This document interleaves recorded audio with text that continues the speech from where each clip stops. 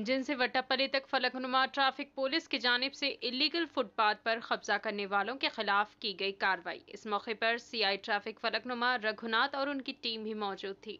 आइए नाजरीन देखें इसी की तफसीली रिपोर्ट। हमारे चैनल को लाइक करें, शेयर करें और सब्सक्राइब करना ना भूलें।